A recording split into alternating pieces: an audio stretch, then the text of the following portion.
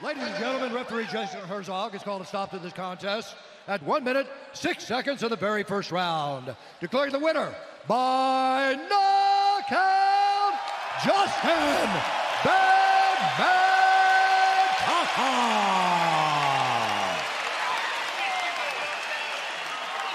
I'm here with the winner, Justin Tafa. Justin, wow. I mean, you're known for the knockout power.